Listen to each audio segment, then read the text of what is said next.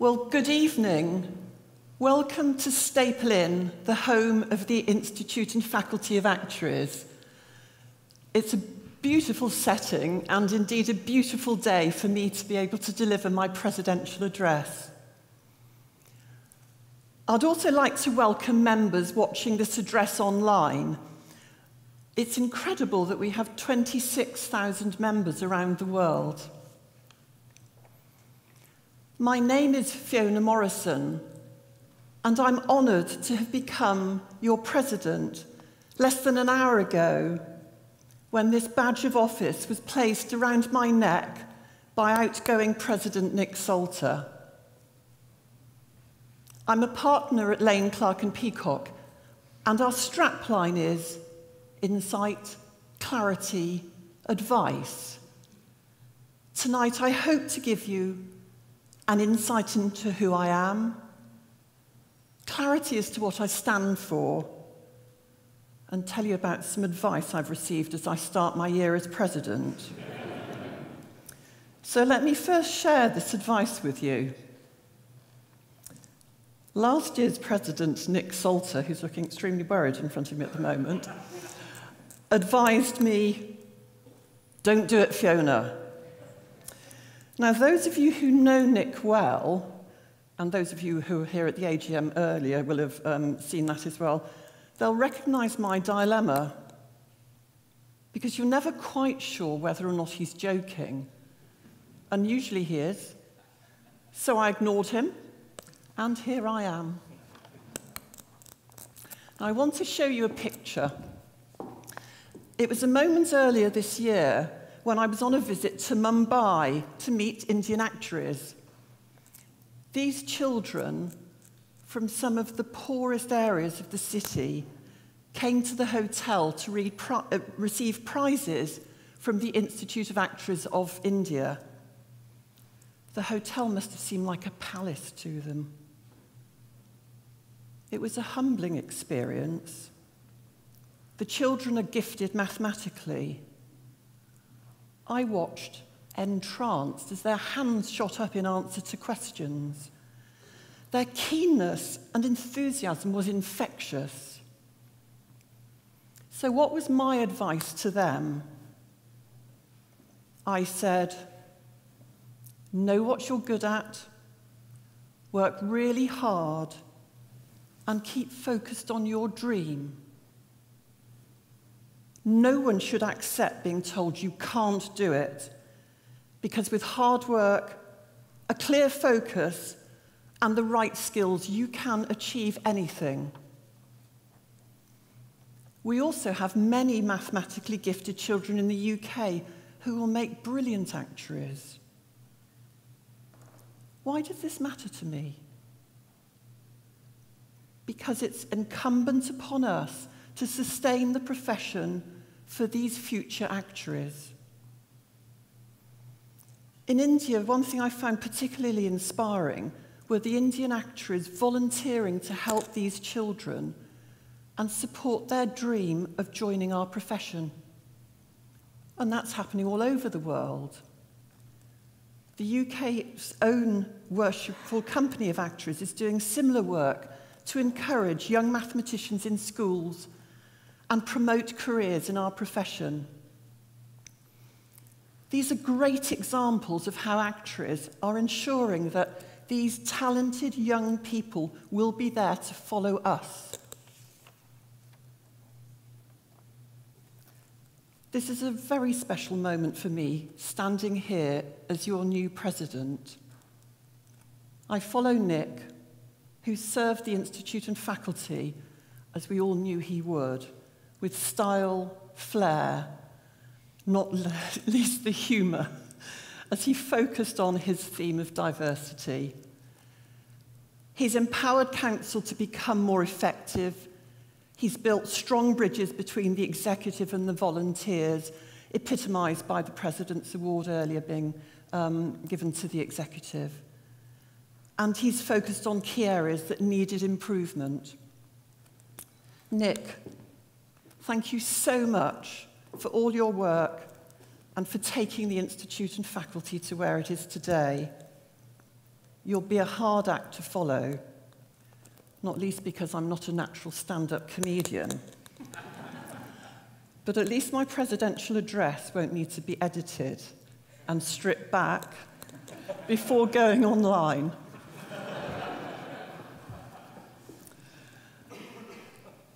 Sometimes looking back for a moment helps us to look forward as the world around us changes.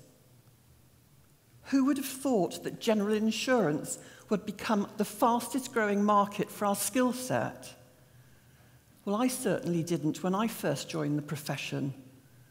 The handful of actuaries then working in general insurance has grown to 3,500 today.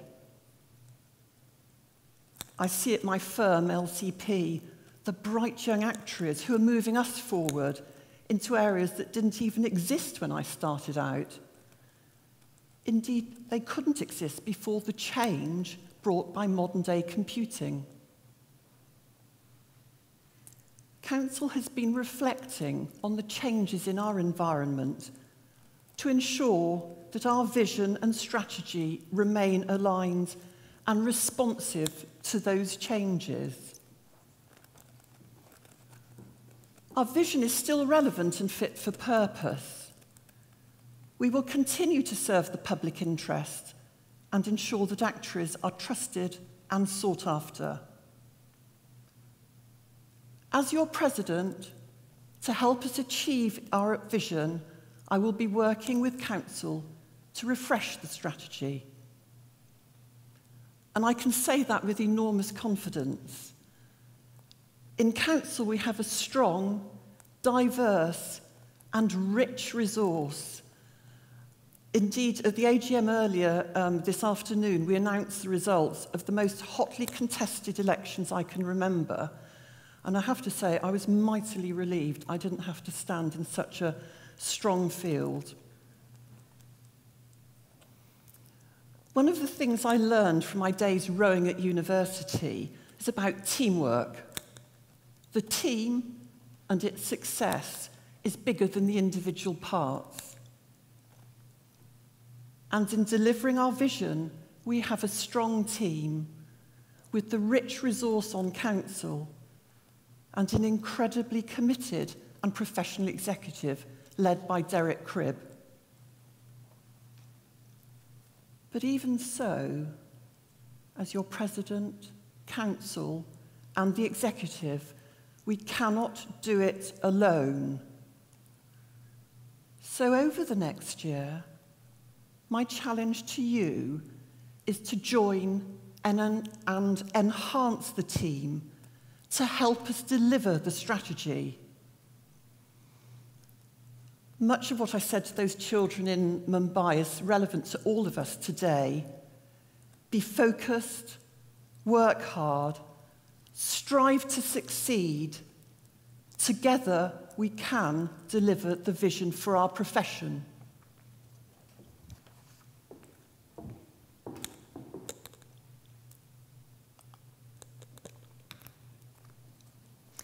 During my year as president elect, I've met many inspirational people. I can see some of you here tonight, and I want to thank you for inspiring me. I should say, inspiring me because you have. Um, I know you'll continue to push the boundaries on what actors do and help move the profession forward. And it's become clear to me that we've an army of people who are as passionate, determined, and focused as me about our profession. None more so than Colin Wilson, our new president elect.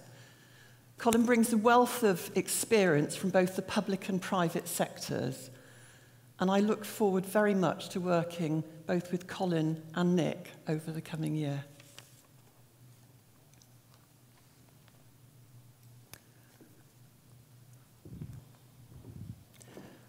As I prepared to become your president, I reflected on what I personally can do to help.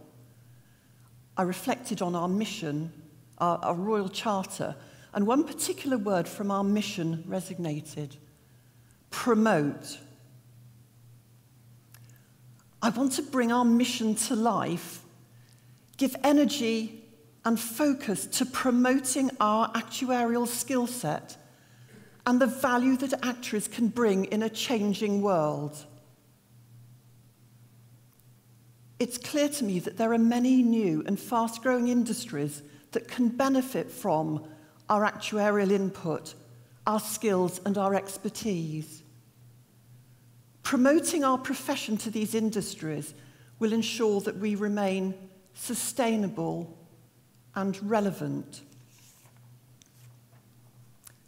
Personally, I will be promoting and showcasing what actuaries can do for society, business, and governments, how we can help solve society's big challenges, and how we can develop actuarial skills to benefit those who do use actuaries, those who could use actuaries, and those who should use actuaries. We should also promote innovation. The Certified Actuarial Analyst is a great example of how the Institute and faculty itself has embraced the needs of a changing world. This is a new and unique qualification which produces regulated professionals. It addresses a gap in the market identified by business and regulators. We should also promote the environment within which actuaries work.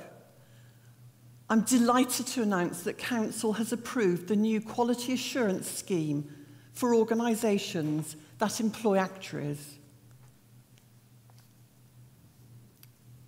If we succeed in promoting actuaries in this way, it will deliver real change that will ensure that our profession is sustainable and valued by society, business, and governments alike all around the world.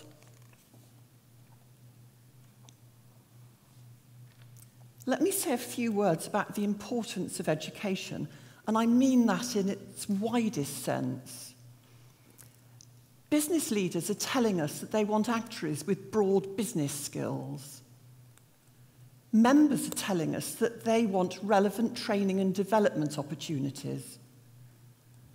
And our recent gender diversity survey is telling us that there are some real challenges for parents wanting to return to work after a career break. Having listened, we now need to respond. Let us be a profession that embraces and supports both men and women at different life stages in different areas of work and with different needs and skills. As your president, I'm committed to responding to that feedback.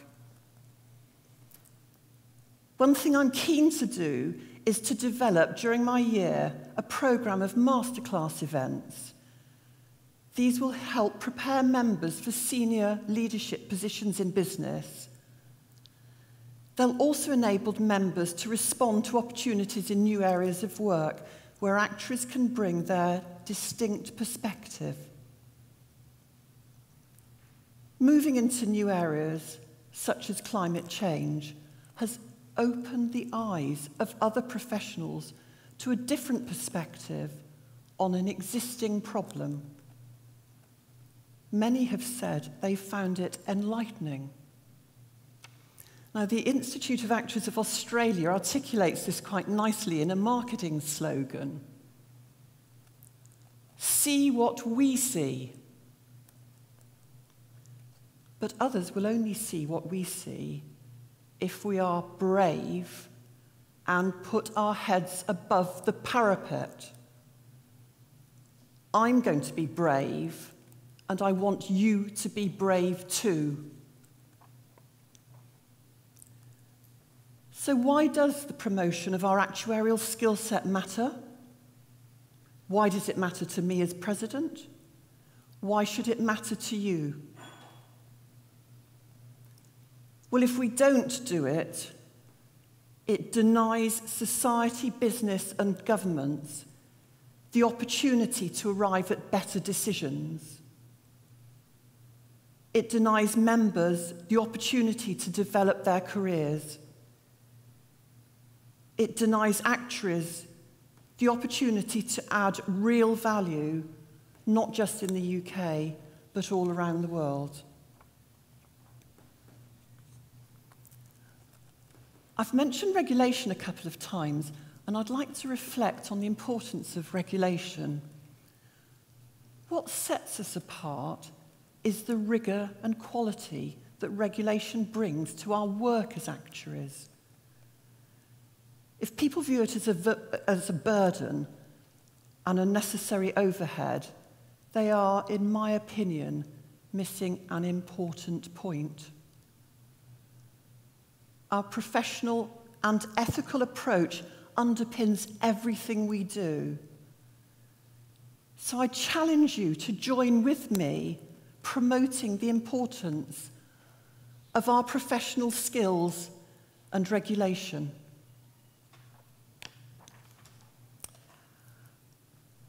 It's lovely to see so many friendly faces in front of me um, tonight.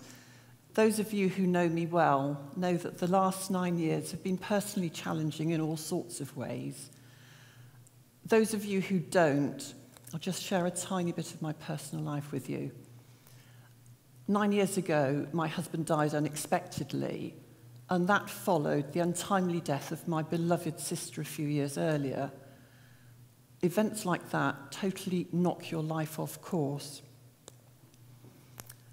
But I'm incredibly lucky to have such wonderful, special friends and family, Martin, Margaret, and Bill, who helped me through this. You all know, I hope, just how grateful I am for all the support you gave me as I rebuilt my life and my career. My standing here tonight as the second female president of the Institute and Faculty of Actuaries is in no small part down to your help, belief and encouragement. A huge thank you to each one of you.